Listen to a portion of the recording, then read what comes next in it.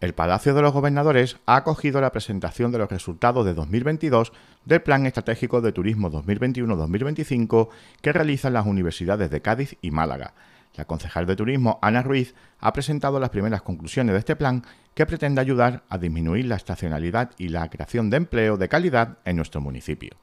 El plan se está elaborando con la participación de todas aquellas personas y colectivos que tienen algo que aportar en materia turística, como miembros del sector, organizaciones empresariales, turísticas, culturales, técnicos, representantes institucionales y vecinos del municipio, que participarán en la recogida de ideas, análisis, priorización de propuestas, tiempo de desarrollo e inversión.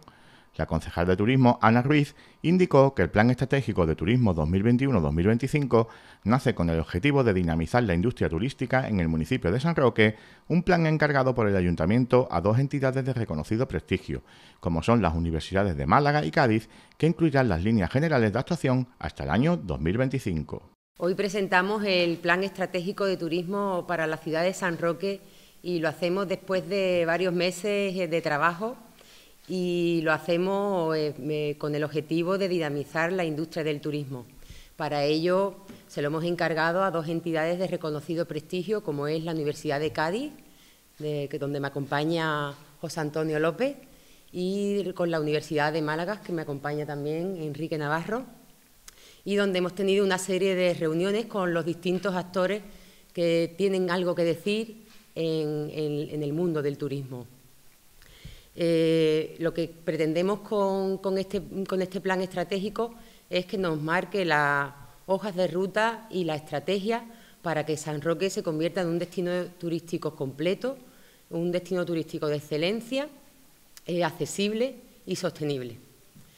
El plan está siendo elaborado por el director del Instituto Universitario de Investigación para el Desarrollo Social Sostenible de la Universidad de Cádiz, José Antonio López, y el director del Instituto de Investigación Universitario en Inteligencia e Innovación Turística de la Universidad de Málaga, Enrique Navarro. Navarro señaló que a partir de este balance estructuran las líneas estratégicas en cuatro tipos de acciones.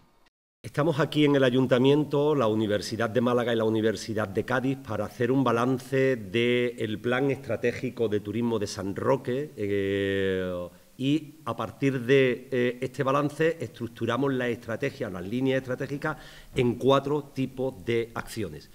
Más orientadas hacia la gobernanza, otras sobre la infraestructura y la tecnología, por supuesto, tenía que entrar una línea estratégica sobre la sostenibilidad, por la importancia que tiene en el futuro, y por último, una línea sobre turismos y tipologías y productos turísticos, precisamente para realzar eh, la desestacionalización de algunos productos y eh, la mejora de la experiencia del turista. En estas cuatro líneas, eh, a lo largo del año 2022, se ha actuado preferentemente en la línea de tipologías turísticas y de productos turísticos, aunque ha habido